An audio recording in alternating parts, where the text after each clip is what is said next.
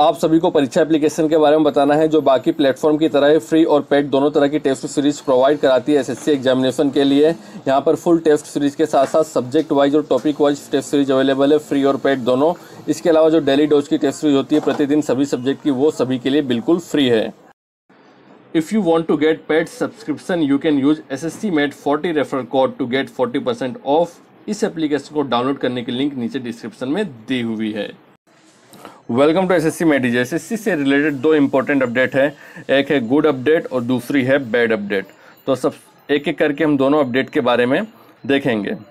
अगर सबसे पहले हम गुड अपडेट की बात करें गुड न्यूज़ की बात करें, जो कि फैंटेस्टिक न्यूज़ है, वो ये है कि आपको पता होगा कि S S C C H S L दो हज़ार अट्ठारह में यू एफ़ एम का रूल लागू किया गया था, जिसके कारण हज़ारों कैंडिडेट्स को बाहर कर दिया गया था। उसके बाद ट्विटर कैंपेन चलाने के बाद, हमारे द्वारा प्रेशर क्रिएट करने के बाद एस एस सी ने यू एफ़ एम को एबोलिश कर दिया गया था इस बार के लिए।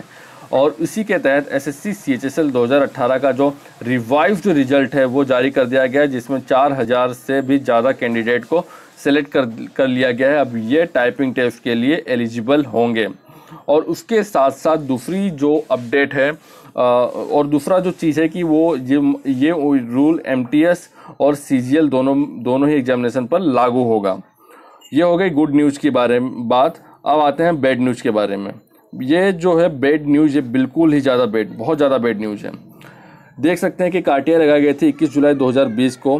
Controller and auditor general of India इस डिपार्टमेंट में जहाँ पर पूछा गया था please provide category wise vacancies in auditor and accountant to be recruited through S S C CGL दो हज़ार उन्नीस। एस एस सी सीजल दो हज़ार उन्नीस के थ्रू ऑडिटर और अकाउंटेंट की कितनी वैकेंसीज है जिनको रिक्रूट किया जाएगा? तो आप देख सकते हैं, सत्ताईस आठ दो हज़ार बीस को ये डिस्पोज ऑफ़ हुई थी। अब इसका रिप्लाई आप देखिए। इसका जो रिप्लाई है काफ़ी ज़्यादा डराने वाला है। यहाँ पे देख सकते हैं I I am to refer to your application under R T I dated इक्कीस July 2020 received in this office on dated 22 July 2020 the information sought by you as under में जो इन्फॉर्मेशन है उसकी जो आंसर है वो नीचे दिया गया है। देखिए अब आंसर इसका आर टी आई रिप्लाई देखिए। No requisition of for filling of vacancies for the post of auditor and accountant through C G L E twenty 19 has been placed by this office with the SSC मतलब जो जिस office की यहाँ पर बात की जा रही है ऑडिटर और अकाउंटेंट की, इसके द्वारा कोई भी वैकेंसी एसएससी सीजल 2019 में दी नहीं गई है। मतलब इस बार टोटल है ज़ीरो वैकेंसी देख रहे हैं आप ज़ीरो वैकेंसी दी गई है।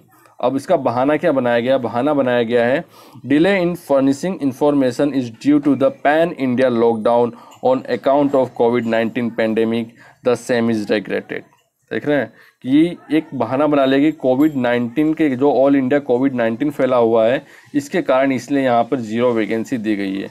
एक तरफ़ सरकार बोल रही है कि हम नीट की एग्जामिनेशन कंडक्ट कराएँगे जे डबल ई की एग्जामिनेशन कंडक्ट कराएँगे, कोरोना कुछ नहीं है कोरोना एक सिंपल सा फ्लू है।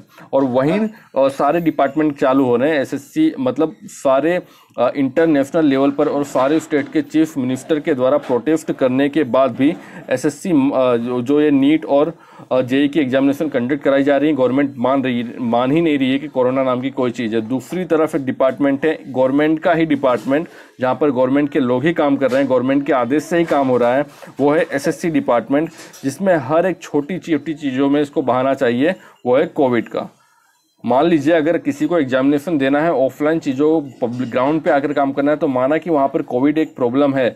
लेकिन जो जिन चीज़ों को ऑनलाइन किया जाना है, जैसे वैकेंसीज फाइनलाइज करनी है, कितनी करनी है, ये सारे काम ऑनलाइन कोई भी इंसान घर पे बैठे बैठे कर सकता है। तो इन सारी चीज़ों में कोरोना कहाँ से इंटरफेयर हो रहा है, मुझे पता नहीं चल रहा। तो ये एक तरह की लापरवाही है। आपने सभी ने देखा होगा अभिनय शर्मा सर का वीडियो जो मैंने पहले, इसके प्रीवियस वीडियो अपलोड किया था।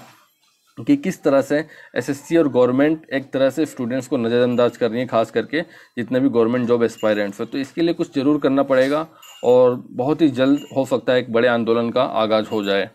प्लीज़ वीडियो को लाइक कीजिए। जय हिंद, जय भारत, वंदे मातरम।